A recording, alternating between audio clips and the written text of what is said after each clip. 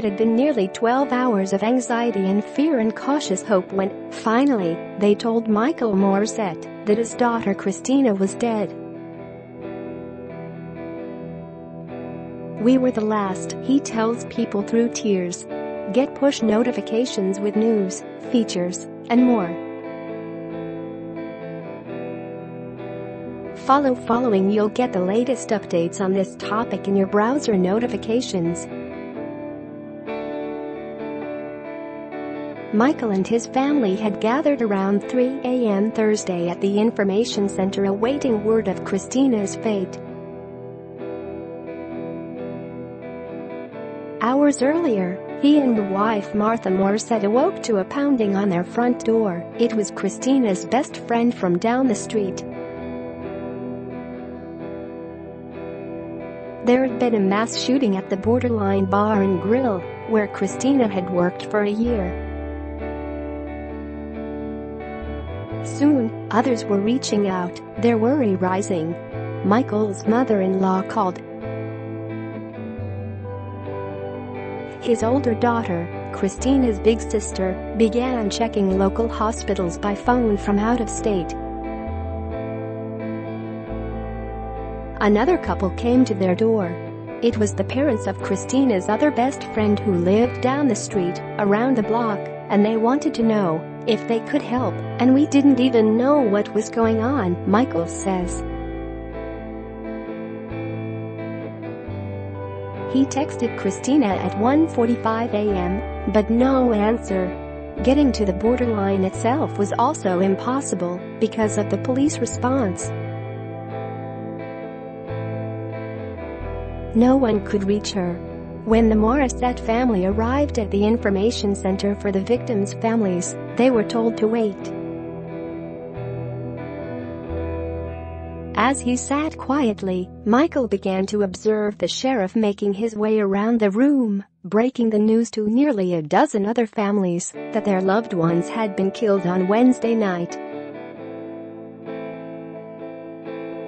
About 12.30 p.m., the sheriff came for them that made it harder, but it's just the way it worked out I guess, he says. It made it hard to watch everyone go through and sit through the pain and agony.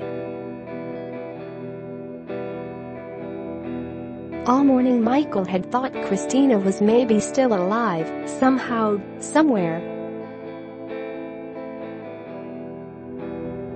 Maybe she left her phone in the scrum of the escape, slipping out of a shattered window at the bar and huddling with others for safety. Maybe she was still being interviewed as a witness. Maybe. What I hoped for was that she would walk through the door, he tells people.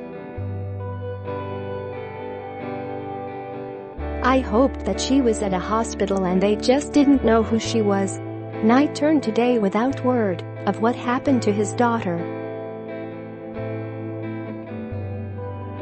As the number of unconfirmed bodies got smaller and smaller, my hope kind of got smaller and smaller, Michael says, but there was always that little bit of hope left that they would say, hey we already identified the bodies, but none of them are your daughter.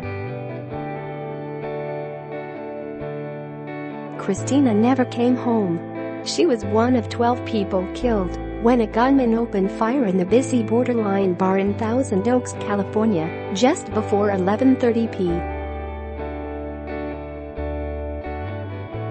M on Wednesday. At 20 years old, she was one of the youngest victims. According to her father, she was one of the first people shot. Kristina was working the door that night greeting patrons and checking IDs when a 28-year-old Marine Corps veteran began firing. Michael says the sheriff told him his daughter died quickly, painlessly, without struggle, a fact that brings him some small comfort. His family left the information center around 2 p.m. on Thursday. Just one day earlier, he had said his usual goodbye to Kristina as she headed off to her night shift at the bar. The pair had spent the morning together after Michael picked Kristina up from her flight home from Austin, Texas. She'd been visiting friends there that she first met through the borderline. She'd planned and paid for the trip on her own. After Michael picked her up, they stopped on the drive home for breakfast at Denny's so he could hear about her adventures. Over their plates of pancake and eggs, Kristina excitedly shared pictures and videos of her line dancing and sightseeing with her friends. She was so happy, he recalls. She had so many good memories of that trip, and I really felt like she brought home souvenirs and memories, and I knew that she was going to use that as part of becoming who she is. Kristina had also gone to learn more about an Austin area school for those who want to train service dogs. That could have been an opportunity for her future. If there was a goal, that was it, and it was cut short, her dad says. She did want to have a family and have kids of her own someday, he continues. And then he begins to cry. We don't want her memories to end before Kristina was an employee of the Borderline, she was a patron, led into a love of country music by her sister, now 26, whom she always looked up to. A successful student, Kristina was a gymnast in high school and then a cheerleader, all the way through school, through cheerleading, through her jobs, it was all about her friends, all about doing the things she wanted to do with them, Michael says. With her warm smile, Kristina was a natural working the door at Borderline. Her father had his reservations about the job, with its late hours and adjacency to drinking, but she had her own goals. She was a little stubborn and would do things her way, and it turned out to be an asset because she reached further than I would allow her to reach, he says. Her personality made her a standout at the bar. Every time I walked in there she was there, always had a smile on her face, says borderline regular Bryce Viol, 19, who survived the shooting. She was probably one of the nicest people I've met. Michael says that Kristina wasn't always working the door, but that night she was, and it kind of reflects her. She didn't pick a job in a storeroom where she was alone.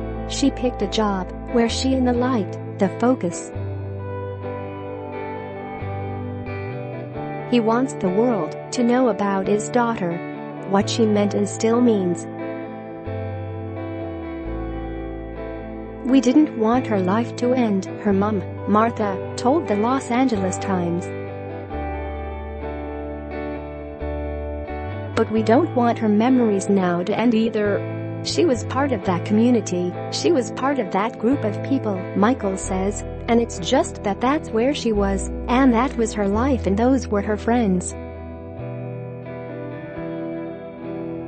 Kristina went as fast as she could to get places that she wanted to go, Michael says. She didn't delay. She didn't look for the negative. Carry that in your heart.